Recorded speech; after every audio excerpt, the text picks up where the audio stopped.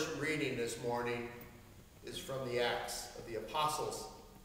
And it describes a really dark time in the early life of the church. Following the outpouring of the Holy Spirit, the apostles have boldly proclaimed the good news of God's love and faithfulness revealed in and through Jesus Christ. And as we hear in the chapter right before today's reading, the number of follower, follow, followers, can't speak this morning, is actually growing. So much so the apostles could no longer serve them and care for them as they felt they should. So coming together, the apostles call Stephen and at least six others to help meet the immediate needs of those who come to hear the apostles and to offer thanks to God through worship for that which they have received by faith and through the indwelling of the Holy Spirit. Of course, none of this escapes the eyes of the Sanhedrin, who had thought they stifled this movement with the crucifixion of Jesus. The Sanhedrin was the governing body of the Jewish people a body responsible to God, both for religious and societal justice. But during the Roman occupation, they instead bowed to the Roman authorities more than they did God.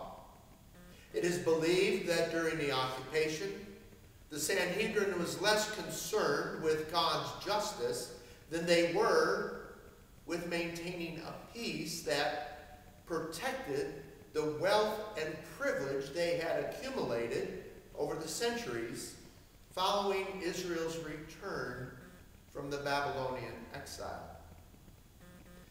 Encouraging faithful Jews to report the activities of this growing sect within Judaism, a sect that envisioned Jesus as the long-awaited Messiah, we learn that Stephen, who is serving those in need and sharing the gospel to which he has been entrusted, is arrested outside the city of Jerusalem and accused of blasphemy by Jews who were likely acting on the Sanhedrin's behalf. To have done something like this inside the city of Jerusalem would surely have invited Roman in interference. And instead of silencing the religious and rebellious voice Roman authorities would have likely dismissed all charges because they were religious and not civil, thereby allowing what the Sanhedrin viewed as a perverse message to continue spreading throughout the region. Standing before the Sanhedrin, Stephen listens as his accusers state that he, the message he is preaching all is showing contempt to God's order and therefore to God. They also declare that he claims divine attributes through the presumptive indwelling of the Holy Spirit. And has even said such attributes are available for all to possess, not just those deemed elect by birth or position. What other fate could await him but death? Role of the Sanhedrin was justice. So they had to give Stephen a chance to defend himself, or at least being seen as doing so. Instead of denying the charges that were placed against him, Stephen boldly proclaims the gospel in their presence, daring to tell the Sanhedrin that they were wrong in their judgment regarding Jesus. And because they were, they would be the ones to face the wrath and judgment of God. Then, in an unprecedented act, the Sanhedrin does not turn him over to the Roman authorities as they did Jesus. Instead, we are told in Scripture that they themselves take him outside the city walls and stone him to death. Standing on the sidelines, giving his tacit approval to what they are doing by holding their cloaks is a young man named Saul.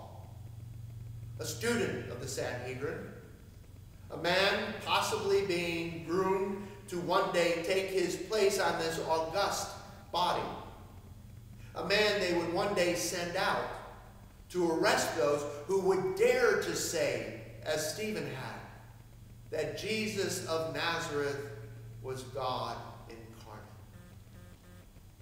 After witnessing Stephen's death, the people of Jerusalem, either out of fear or intimidation, could no longer turn a blind eye to those with whom they disagreed, but instead sought to end this movement, their religious leaders said, threatened their standing with God.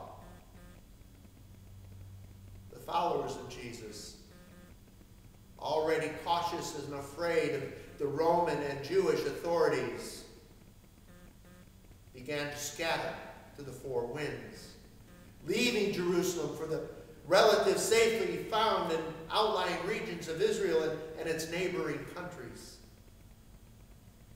The Sanhedrin thought they had taken decisive action against this rebel sect, believing they had stricken a blow to this Jesus movement, had in fact done the opposite.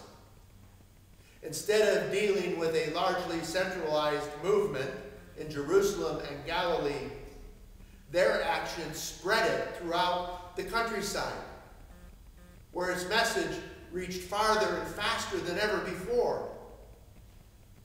We face a similar situation today. Like early Christians, we do not feel that it is safe to gather together in worship. Our fears have driven us away from our centralized meeting places. Now, to many, this is a bad thing because we enjoy the support and encouragement we get from one another when we gather together to worship. But just as the actions of the Sanhedrin sent the followers of Jesus out into the world where the message of hope was enabled to spread farther and faster, so too does this virus. Think about it. Our church, once viewed as this building, has now been literally and physically spread beyond its four walls into the outer communities. Because the church is not found in the building. It is found in us. And that means the church goes where we go. The question is, does the work of the church go with us? What is that work? According to our catechism, the work of the church is to restore all people to unity with God and one another. The church does this through its prayer and worship. And it does so as it proclaims the gospel, promoting justice, peace, and love. And it does so through each of us. And I might add, no matter where we are. While this seems like dark times in the life of our church, it is also an opportunity. An opportunity for us to take the church and do its work in places and in ways we may never thought possible before. Take, for instance, this online worship we began. Started to support and encourage the members of our parish our Sunday service has a much wider audience. Did you know that each week we have on average 10 people who are not members of our parish living in the outlying communities who either like or comment on our service? That sounds like a lot. And believe me, this is a blessing. But think, think how many lives we might if we shared this video with our family and our friends, instead of 10, we might reach hundreds. offering support and encouragement to those who, like us, need it. I know doing this can open us up to unwanted criticism. Because there's those out there who will argue, don't force your faith upon me. But in doing so, are we really? We all see things posted online we don't agree with. What do we do? We scroll past it. Unless someone we know, someone we trust, invites us to take a look. And the more often we are invited to do so, the more likely we are to actually see what excites them. We might still disagree or, or not like it, but at least we listen to what they thought was important. Who knows? Like a seed that is planted that then spreads and sprouts to new life. Maybe in doing so, we gain new perspective on an issue that opens us up to new ways of seeing things. I'm not saying that by sharing our online worship, um, be it our Sunday morning services or our Monday through Saturday evening meditations, we'll have the successful nature as did the Exodus from Jerusalem.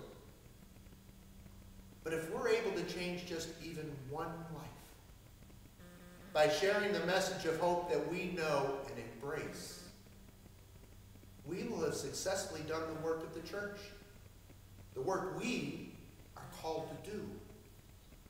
Taking God's message of hope and love beyond the four walls of our church building out there into the world where it can offer hope to those who do not yet know it, bringing unity between us and God and one another.